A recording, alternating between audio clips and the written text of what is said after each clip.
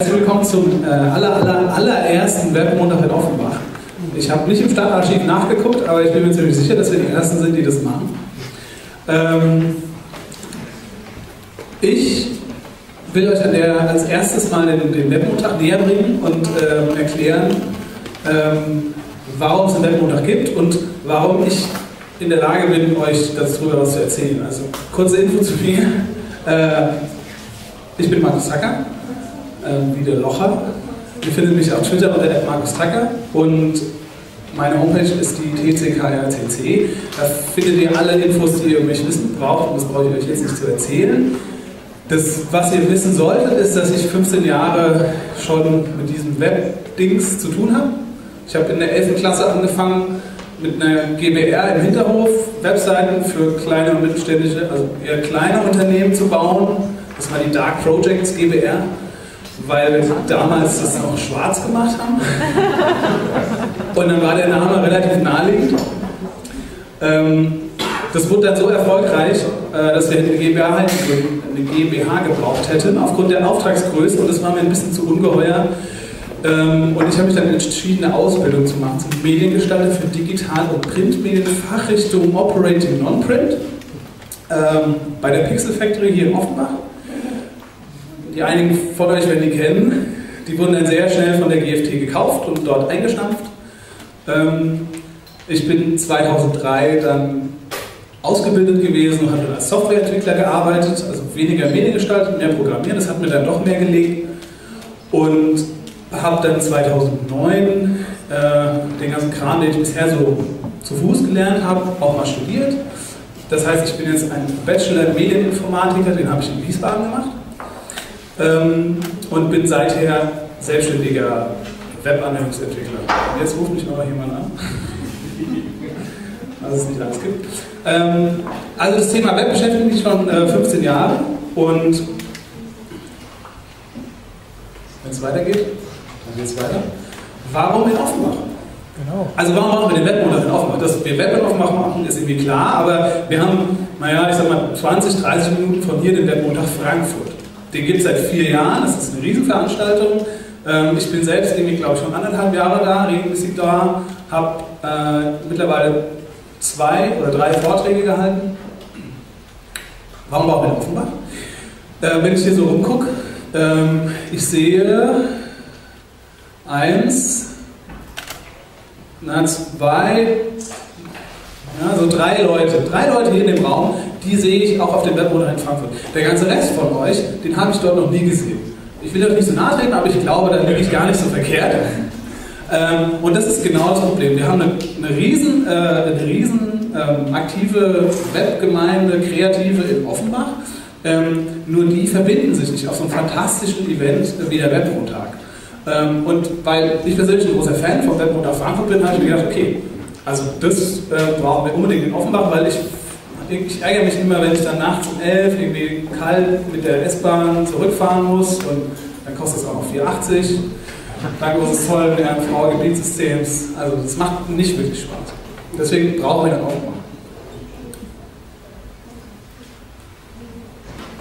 Warum überhaupt Webmontag? Also kommen wir nicht ohne Webmontag klar, das hat ja bisher auch ganz gut funktioniert. Ähm, ich finde, ähm, ihr kennt alle dieses, oder die meisten von euch kennen das Schild, äh, das ist unten am, äh, an der Deutschen Bank steht es, so, was, so ein digitales cooles Schild. Da steht normalerweise drauf, Willkommen in der Wetter- und Lederstadt. Wenn man sich das mal auf der Zunge zergehen lässt, also Wetter machen wir nicht, Wetter wird für uns gemacht und auch Leder, mit Leder haben, also ich glaube keiner von hier kennt noch jemanden, der in einem lederverarbeitenden Betrieb arbeitet oder. Also das hat ja nichts mehr mit, mit der tatsächlichen Wirklichkeit in Offenbach zu tun. Wir haben in Offenbach, äh, je nach Statistik und je nachdem, wie man das zusammenwürfelt, bis zu 1000 kreative Unternehmen. Und diese ganzen Unternehmen ähm, haben so ein paar Themen, die stark künstlerisch belegt sind. Ähm, ich habe nicht so persönlich den Zugang zu den, zu den künstlerischen Themen, die sehr gut von der HFG vertreten werden. Ähm, mich interessiert mehr so der Hands-on-Kram, ähm, also die Bits und Bytes. Ähm, und die haben keinen, da gibt es keinen festen Termin im Jahr, wo man sich regelmäßig treffen kann, wo man sich einfach austauschen kann, wo man mal die Leute von diesen ganzen Agenturen, von den Selbstständigen, von den Freelancern, von den Dienstleistern, Hostern und was es da alles gibt, dass die sich mal zusammentreffen ähm, und sich austauschen können. Und deswegen habe ich gesagt, Webmontag ist ideales Format. Hier geht es nicht unbedingt äh, so technisch in die Tiefe, ähm, sondern wir bringen einfach Leute zusammen, die sich fürs Netz interessieren und schaffen eine gemütliche Plattform. Und die soll es auch regelmäßig geben. Denn was ist ein Webmontag? Auf dem Webmontag geht es darum, ähm, also das Prinzip ist relativ simpel. Äh, es sollte, die, das Format ist ganz einfach, es findet am Abend statt, wie heute. Wie der Name schon sagt, Webmontag, es ist Montag, ähm, nicht Dienstag oder Mittwoch, wie ich von manchen Leuten gehört habe, ähm, sondern es ist immer am Montag. Ähm, das Web ist das entscheidende Thema, aber äh, Web ist ein sehr weit gefasster Begriff. Also wir werden heute sehen, ähm, dass Web eben, was inzwischen schon mit Hardware zu tun haben, mit intelligenten äh, Kühlschränken, die sagen, wurden, die es vor zehn Jahren angekündigt worden, die sind heute Realität. Das ist Web. Genauso ist Web irgendwie Telemetrik in meinem Auto, das durch die Gegend fährt, von der ich gar nichts mitbekomme, aber da ist auch Web drin. Äh, Web ist auch auf der ISS, also die ESA, die in Darmstadt sitzt. Das sind alles super spannende äh, Fachbereiche, die alle trotzdem irgendwas mit Web zu tun haben. Das Web ist inzwischen überall. Ähm, wir tragen es in der Hosentasche mit rum. Inzwischen haben die meisten von uns mindestens so ein Device. Diese Regel geht dann zum zweiten oder dritten oder vierten Device. Ähm, und auf dem Webmontag werdet ihr eben einfach Vorträge hören von Leuten, die sich für das Web begeistern, die in dem Web arbeiten, die damit ihr Geld verdienen oder die es auch für ihr Hobby benutzen. Und in den Vorträgen wird es nicht so extrem in die Tiefe gehen, technisch, sondern es geht darum, ein Thema anzureißen und euch was mitzugeben, dass ihr was lernt, was hat diejenige Person für Erfahrungen gemacht, ähm, was, was haben sie für, für, wie sind sie ein Thema angegangen, wie haben sie es gelöst und wie werden sie es in Zukunft angehen. Und der Punkt ist, euch was mitzugeben, womit ihr selbst arbeiten könnt, mit den Leuten könnt ihr dann sprechen, könnt euch austauschen und könnt Kontakte herstellen über diese Themen. Das ist das mit der entscheidende Punkt, was ein Webmontag ist. Es ist nicht nur Erfahrungsaustausch, sondern guckt euch die Leute an, die hier sind, guckt euch an, worüber die reden, was die für Geräte haben, äh, was die für coole Schuhe haben und kommt ins Gespräch. Denn nur über, den, über Netzwerk können wir wirklich gut arbeiten. Und es werden immer mehr Leute gehen aus den Firmen raus, werden selbstständig, sind Freelancer, sind in kleinen Unternehmen, sind ständig bei neuen Firmen und nur über Netzwerk. Die Netzwerke sind wirklich das, was stabil ist, was über Jahre sich aufbaut und wo man jahrelang wirklich mitarbeiten kann. Egal, was für eine Rechtsform gerade immer einen Check ausstellt. Deswegen, also das ist der Webmontag. Zum Webmontag, äh, auch ein ganz wichtiger Punkt beim Webmontag ist, äh, ihr dürft auf eure Smartphones gucken. Also es guckt euch, also zumindest ich werde hier niemanden böse angucken, wenn er mir zuhört, aber mich nicht anguckt, sondern auf seinem Smartphone unterwegs ist. Ähm, viel passiert bei uns, also bei mir über Twitter, ich bin nicht so der große Facebook-Fan. Ähm, der offizielle Hashtag, deswegen ist der WMOV. Ähm, Wäre nett, wenn ihr euren ganzen Kram, eure Meinung, eure Fotos, eure wenn euch was stört, ja, eure Fragen unter dem Hashtag twittert, ähm, dann können A, wir das mitkriegen und dann könnt ihr euch untereinander auch vernetzen. Zu guter Letzt, der Webmontag ähm, ging, wäre nicht alleine, also ich hätte nicht allein auf, äh, aufziehen können, deswegen möchte ich mich an der Stelle schon mal bedanken bei ganz vielen Menschen, die mir geholfen haben, das zu realisieren. Zum einen ganz wichtig, der Webmontag Frankfurt. Ähm, da sind, sitzen Menschen, die heute auch in Frankfurt unterwegs sind, ähm, auf der Bühne stehen und eine großartige Veranstaltung aufbauen und die haben mich von Anfang an unterstützt, insbesondere der Ali Pascha, der den äh, mit aufgezogen hat, die Jenny, die die Moderation macht, ähm, zu denen, äh, mit denen habe ich von Anfang an darüber gesprochen und die waren extrem offen. Also es gibt, wie manche vielleicht vermutet hätten, aufgrund des gleichen Termins, dass es irgendwie eine Konkurrenzveranstaltung oder einen Zwist gibt, das ist definitiv nicht der Fall.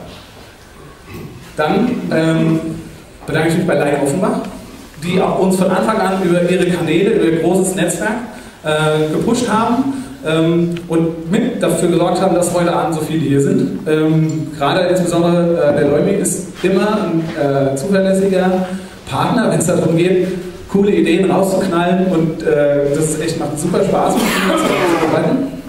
Äh, bedanke mich auch bei der Wirtschaftsförderung der Stadt Frankfurt, die uns mit der Technik aushilft.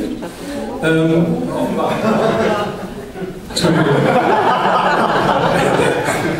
äh, ich bin auch total im Web oder Also, ich möchte mich sehr herzlich bei der Wirtschaftsförderung Offenbach bedanken, die uns mit der Technik aushilft.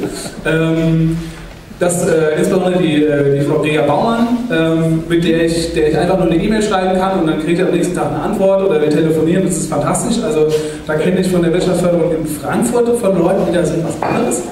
Da freue ich mich auch, dass ich in Offenbach bin.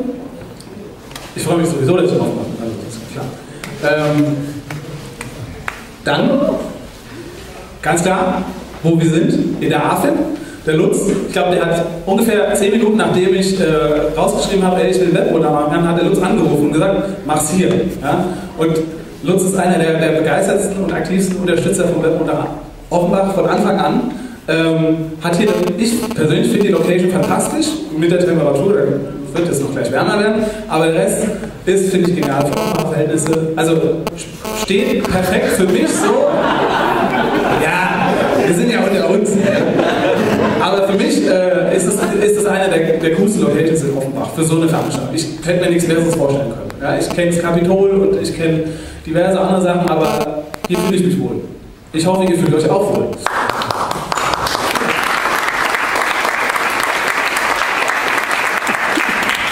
Wenn ihr den Lutz unterstützen wollt, ähm, der wird gleich noch was zur Location sagen, aber die Bar ist offen die ganze Zeit und da hinten gibt es auch was fantastisch zu essen. Also spart nicht ja, an eurem Durst und an eurem Hunger. Ähm, ja, das haben wir den übersprungen. Der, äh, das ist mein Coworking Space. Ähm, ich platziere mich hier als Sponsor. Äh, ich stecke die Arbeit rein, also möchte ich auch gerne die Lorbeeren haben. Wir sind der erste Coworking Space in Offenbach. Ähm, wir, haben, äh, wir sind ein Gemeinschaftsbüro, wo ihr einhauen könnt, wenn ihr irgendwie zu Hause euch auf die Decke auf den Kopf fällt oder ihr ja, rausrollt. Bei uns gibt es den ganzen Arbeitsplatz, den ihr braucht, Tisch, Stuhl, Kaffee, Internet für 90 Euro im Monat. Die Preise, die ihr auf euren Stühlen gefunden habt, wo ihr jetzt vielleicht drauf sitzt, das sind noch die alten Preise. Schaut auf die Homepage, wir haben neue Preise. Und ganz zum Schluss ähm, will ich mich auch bei euch bedanken. Äh, ich bin extrem überrascht. Ähm, also am Anfang habe ich gedacht, naja, wenn so 30 Leute kommen, dann ist es vielleicht cool. Aber jetzt ist es ja richtig cool. Und äh, wir haben die auf der Webseite 55 äh, Registrierungen gehabt. Dann kamen heute noch jede Menge E-Mails. Oh, ich habe es verschlafen, ich habe mich nicht angemeldet, geht es auch noch. Ähm, super geil, das, äh, das ist mit die beste Unterstützung, die wir bekommen können, äh, weil so wissen wir, dass wir auf jeden Fall den nächsten Webmontag auch noch machen werden. Das ist heute nicht äh, der letzte gewesen sein wird. Das war es jetzt von meiner Seite zum Thema Webmontag. Ähm, den Lutz würde ich gerne nach vorne bitten. Der erzählt uns jetzt was über die AFE.